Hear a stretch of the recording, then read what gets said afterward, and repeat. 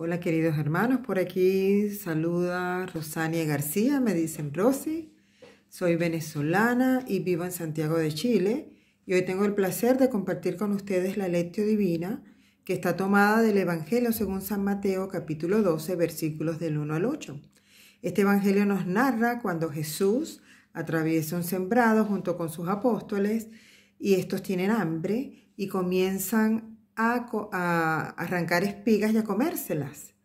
Eh, y Jesucristo pues es criticado, es cuestionado por los fariseos cuando ve esta actuación de los discípulos.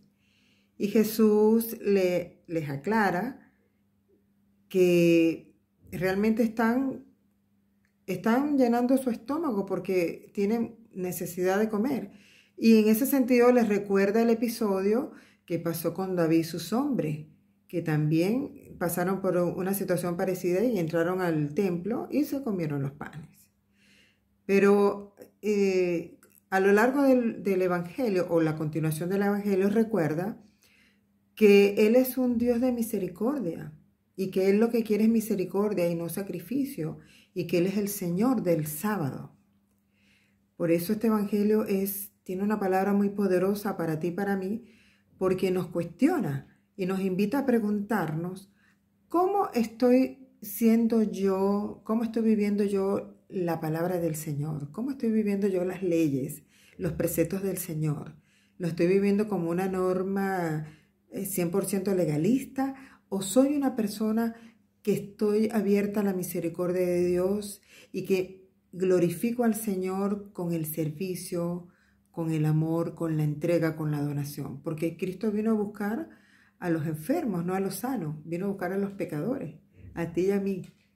Y, sigue siendo su obra en nosotros y ha tenido misericordia con nosotros y nos invita a ser misericordiosos como Él.